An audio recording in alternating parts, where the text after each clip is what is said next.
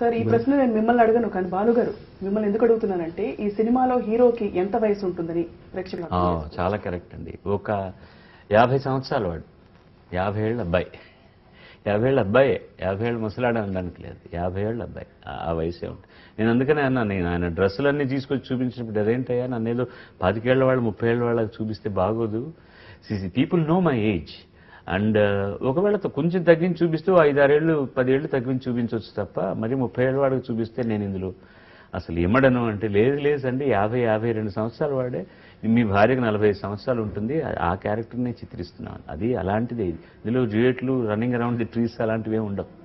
ఒక అందమైన సాం- దాంపత్యం.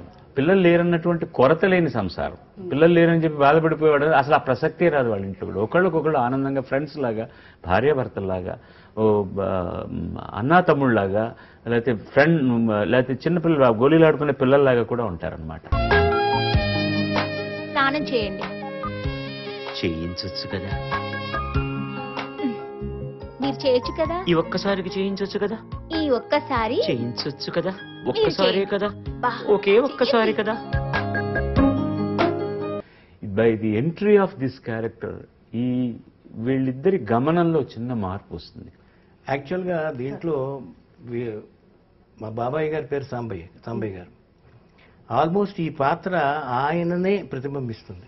మాట తీరు కానీ కోపం కానీ ఆ గళంలో ఉండేటువంటి గంభీరత్వం కానీ అమ్మాయిని పిలవటం కానీ ఇవన్నీ కరెక్ట్గా ఆయన్ని మళ్ళీ మేము చూస్తున్నామా అన్నట్టుగానే ఉంటుంది. ఎందుకు చెప్తున్నానంటే లైఫ్లో ఉన్న క్యారెక్టర్ని నిజ జీవితంలో మనకు తారసపడే క్యారెక్టరే ఈ క్యారెక్టర్. అంటే ఆయన కృష్ణారెడ్డి బట్టల షాపులో పనిచేస్తున్నాడని కాదు మాట తీరు కానీ మాటల్లో ఒక ఒక వెటకారం కానీ కొండ బదలు కొట్టినట్టు మాట్లాడటం కానీ అవన్నీ భలేగా వచ్చినాయి ఉదాహరణ చెప్పాలంటే ఈయన శంకరాభరణం కలిసి చెప్పి ఆయనకి బాబాయ్ వాడు పాడాలి. కానీ ఏం లేదు వాడు రోజుకి ఐదారు పాటలు పాడుతున్నాడు కదా.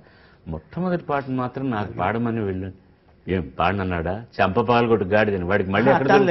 అది ఏమో నేనేమన్నానంటే నువ్వే చెప్పొచ్చు కదా అన్నాడు ఆయన. ఇప్పుడు అడిగేవాడిని పొద్దున్నే వాకింగ్ అడిగి నువ్వే చెప్పొచ్చు కదా వాడికి అన్నాడు. ఏం చెప్పను? అని తిరిగిపోయాడు వాడు. ఇప్పుడు ఇవాళ పది పాటలు పాడుతున్నాడు రోజుకి. నేను ఐ కెనాట్ సే దట్ అన్న లాగి ఎంపకాయ కొట్టి చెప్పు నా పాటకు రారా నువ్వు? వాడి వస్తాడు వచ్చినట్టు ఆ- అట్లాంటి మనిషి ఆ వ్యక్తి. అంటే దాంట్లో ఏమి ఒక ఈ ఇది ఉండదు మనకి. ఉండదు. ఇప్పుడు మామూలు విశ్వనాథ సత్యనారాయణ గారు మాట్లాడారు ఏం బొట్టు పెట్టుకోకుండా వచ్చావు స్కూల్కి క్లాస్కి? మూడు పోయాడా?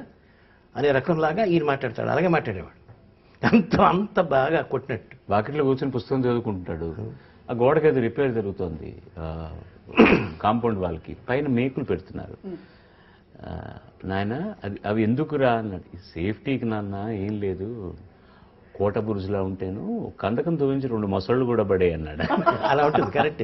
అంటే ఇన్స్టాంటేనియస్గా ఉంటుంది సెన్స్ ఆఫ్ హ్యూమర్ కానీ సో అవి- అవన్నీ లక్షణాలన్నీ పాత్రలో వచ్చినాయి. అంటే నేను నా- మా నాన్నగారి గురించి మా జనార్దన్ మహర్షి తెలియదు కానీ దాన్ని చూసిన తర్వాత వాటిని ఎక్కువ పొదుకోవడానికి అవకాశం వచ్చింది అనమాట వచ్చింది అది ఎగ్జిబిట్ చేయడం కూడా కష్టమే కదా. తెలిసి తెలియకుండా భలేగా ఆ- ఆయన తెలిసిన వాళ్ళందరూ ఆయన్ని మళ్ళీ ఏంలో చూసుకోవచ్చు. దేవస్థానం వేదస్థానం నాదస్థానం మోదస్థానం దేవస్థానం. సార్ దీనికి ఎక్స్టెన్షన్గా మరో సున్నితమైన ప్రశ్న. ఇందులో కొన్ని సున్నితమైన రొమాంటిక్ సన్నివేశాలు నటించేటప్పుడు ఈ పాత్రకి ఈ వయసుకి జస్టిఫై అవుతుందా అన్న సందేహం మీకు కలిగి మీరు మహర్షి గారికి చెప్ప చెప్పే ప్రయత్నం చేయడం లాంటివి ఏమైనా జరిగాయి? ఒకే ఒక్క సందర్భంలో జరిగింది. అమ్మాయి అని పిలుస్తుంటాడు భార్యని ఎప్పుడు కూడా. సరస్వతి అని పేరు పెట్టి పిలవాడు అమ్మకు చెప్పు అంటాడు. She mother she his wife అతని ఫీలింగ్ అది. అమ్మకు చెప్పు అమ్మాయి అమ్మకు చెప్పు కాఫీ కావాలి నాకని. అమ్మకు చెప్పు రేపటి నుంచి నేను ఇవన్నీ ఒప్పుకోనని. కోపం వచ్చినా కూడా అన్యాపదేశంగా ఇలా మాట్లాడుతుంటాడు. ఒకసారి అలా కోపంలో ఉన్నప్పుడు ఇంటికి తోరణం కడుతుంటుంది అమ్మాయి. తోరణం కడుతున్నప్పుడు ఈ- ఈ ఈ ఈ క్లిప్ భాగం కనపడుతుంది. అమ్మాయి తోరణం కట్టాక లోపలికి రా అంటారు అంతే అంతకంటే వేరే ఏం లేదు. ఆ ఆ పర్టికులర్ వంపును షూట్ చేయడానికి ఇతను యాంగిల్ పెడుతూ ఇతను అతను కెమెరామెన్ డిస్కస్ చేస్తున్నప్పుడు నేను కొంచెం అంటే ఆ కెమెరాలో ఏం కనపడుతుందో ఇతను ఏం చెప్తున్నా నాకు తెలియదు కదా. నేను ఏంటి చూపించబోతున్నావు నువ్వు? కొంచెం బాగా ఆలోచించావా జనార్దన్? వద్దయ్య అలాంటిది. సార్ నేను ఫ్రేమ్ చూపిస్తాను మీరు చూడండి సార్. నేను అలాగా అమ్మాయిని అంకాంగం చూపించడానికి చేయట్లేదండి. ఆ పర్టికులర్ రీజన్ ఉంది మీరు చూడండి. అసభ్యంగా ఉండనే ఉండదు. మన ఇంట్లో కళ్ళాపు చల్లుతున్నప్పుడు మన భార్య అలా వంగినప్పుడు ఈ నడుం ఎలా కనపడుతుంది అలా ఉంటుంది. అది మీకు చూపించాలన్న దృష్టితోటి ఆ పాత్ర ఆ క్యారెక్టర్ చెప్తుందన్న దృష్టితోటి అని. నేను పిక్చర్లో చూస్తున్నప్పుడు చాలా మర్యాదగా తీశాడు. అలాగే వాడి పాత్ర ఏంటంటే మ్యానిక్విన్కి చీర కట్టేస్తుంటాడు. వాడు చీర కట్టడంలో ఎక్స్పర్ట్ అనమాట షాప్లో ఉన్న బొమ్మ కడుతుంటాడు. బజార్కి వెళ్ళబోతూ ఈ అమ్మాయి అలా వచ్చి నేను వెళ్ళొస్తానమ్మాయి కుచ్చెళ్ళు ఇలాగ కట్టుకోవడం గబగబ గబా నా కుచ్చెళ్ళు తీసుకెడతాడు అనమాట ఐ ఫెల్ట్ లిటిల్ డెలికేట్ చేస్తున్నప్పుడు అది సార్ మీరు అలా ఏం ఫీల్ పాప అమ్మాయి కూడా అలా అలా అనుకోకండి అంకుల్ మీరు యూ కెన్ డెఫినెట్లీ ఇది పాత్ర నేను ఇంకా చాలా చాలా ఇబ్బందికరమైన పరిస్థితిలో ఉన్నాను. దిస్ ఈజ్ నథింగ్ అని. యాక్చువల్గా అర్థం పడుతున్నాను కాదు కానీ మధ్య వయస్కులు మధ్య వయసులో ఉన్నటువంటి స్వీటెస్ట్ రొమాన్స్ ఉంది దాంట్లో. ఇట్ ఈస్ నాట్ దట్ మామూలుగా it's very difficult to portray ఒక ఏజ్ వచ్చిన తర్వాత పెళ్ళై కొత్త రోజుల్లో అది వేరు పిల్లలు పుట్టిన తర్వాత వచ్చేది వేరు. ఓ మధ్య గమ్మత్తుగా ఉంటుంది. ఓల్డ్ ఏజ్ వచ్చిన తర్వాత వేరు. మరి supposing the husband is sixty five years old wife is sixty or seventy five there is beautiful romance అంటాము శృంగారం అంటాము. రొమాన్స్ కంటే శృంగారం అనే మాట చాలా మంచి మాట అది. కొంచెం ఆర్థడాక్స్ వాడిది అందమైన శృంగారం. అందమైన శృంగారం. అమలీన శృంగారం. అమలి అమ అమలి అది కాదు. అమ్మాయి కూడా అసలు ఇంత- ఈ డిస్కషన్లో ఆ అమ్మని గురించి కూడా చెప్పుకోవాల్సిన అవసరం ఉంది. And she has done her best in the role పలుకు తెలుపు తల్లివే పదాల జిలుగులల్లవే మదాల సాసుధార సాంశువల్లివే.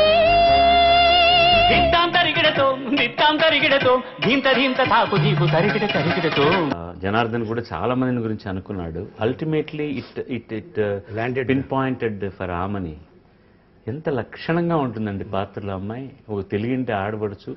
ఎలా ఉండాలి? ఆ మిడిల్ ఏజ్డ్ ఆడపడుచు ఎలా ఉండాలో అంత చక్కగా అంత మితంగా అంత హాయిగా.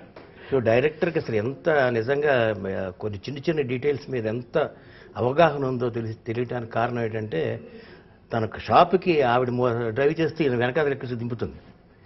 నాకు అట్లాంటి చాలా ఇష్టం. ఆవిడే ఆవిడే డ్రైవ్ చేస్తుంది స్కూటరు. వెనకాల కూర్చుంటాడు ఇతను. ఇక్కడ దింపేస్తే వెళ్ళిపోతుంది. ఎంత అందంగా ఉందో చాలా మంచి శృంగారం ఉంది వాళ్ళిద్దరి మధ్య గుడ్ వెరీ గుడ్ ఖచ్చితంగా ఒక సినిమా రిలీజ్ అయిందంటే ప్రేక్షకులకి ఎంత వద్దు అని మనం అనుకున్నా ఒక ఎక్స్పెక్టేషన్ ఉంటుంది. ఇది ఆ సినిమాలా ఉంటుందా? ఫలానా సినిమాలా ఆడుతుందా అని చెప్పేసి. మీ ఇన్వాల్వ్మెంట్ మీ దర్శకత్వం లేకపోయినా కూడా మీ ఇన్వాల్వ్మెంట్ ఉంది కాబట్టి కొంత ఎక్స్పెక్టేషన్ ఉంటుంది. ఇది షోలేలో ఆడకపోయినా శంకరాభరణంలా ఉంటుందా? ఆ కోవలో ఉంటుందా? ఆ బాణిలో ఉంటుందా అని చెప్పి ఆ ప్రేక్షకులకి ఏం చెప్తారు? ఆయన కోవ ఆయనకే ఉంటుంది. దానికి ఏదో దేవస్థానం కోవ దేవస్థానానికే ఉంటుంది. దట్ ఈస్ వండర్ఫుల్ ఇప్పుడు చాలా మందికి మీరు అన్నట్టుగా ఎక్స్పెక్టేషన్ అని చెప్పింది కదా అమ్మాయి అన్నయ్య. విశ్వం గారు పనిచేస్తున్నారు కాబట్టి విశ్వం గారి తరహాలోని సినిమా ఉంది కాబట్టి ఈయన ఒప్పుకున్నారా నటిస్తున్నారా? లేకపోతే అన్నలదమ్ములు నటిస్తున్నారు కాబట్టి సంగీత సాహిత్యాలు నృత్యాలకు ప్రాధాన్యత ఉన్నది. అలాంటివి ఏమీ లేవు. ఏమీ లేవు. పాత్రాపరంగానే మేము ఇద్దరు ఇందులో ఇరుక్కున్నాం పాత్రలు కరెక్ట్గా 100% correct. అంతే తప్ప ఆయన చేస్తున్నాడు కాబట్టి ఆయన పద్ధతిలో చేయాలి తను ఏ విషయంలోనూ కాంప్రమైజ్ కాకుండా తన ధోరణిలోనే తీశాడు సినిమా. తన ధోరణిలోనే తీశాడు సినిమా. చాలా మందికి అనిపించవచ్చు. బాలుగారు ఏమో సజెషన్స్ ఇచ్చుంటారు విషయం గారు సజెషన్ డెఫినెట్గా మేము అడపాదడపా డిస్కషన్ చేయడం ఇది ఇలా ఉంటే బాగుంటుందేమో అనుకోవడం ఏదైనా మంచి చెప్పినట్టు తీసుకున్నాడు కానీ తను నమ్మింది కనుక మేము చెప్పింది కాకపోతే సారీ సార్ నేను ఈ- ఈ ఈ షాట్ ఇలాగే తీసుకుంటాను అని అలాగే తీసాడు కానీ మొహమాట పడిపోయి సీనియర్ డైరెక్టర్ నాయనో లేకపోతే తండ్రిలా చూసి నన్ను నేను అన్నానని లేకపోతే నన్ను ఎదిరించి చేయకూడదనో కాంప్రమైజ్ కాలేదు అతను. ఇట్ ఈస్ హిజ్ స్టాంప్ ఈ సినిమా తర్వాత Janardhan Maharshi stamp of directing అనేది ఏంటని జనానికి అర్థమవుతుంది శాంతాకారం భుజగశయనం పద్మనాభం సురేశం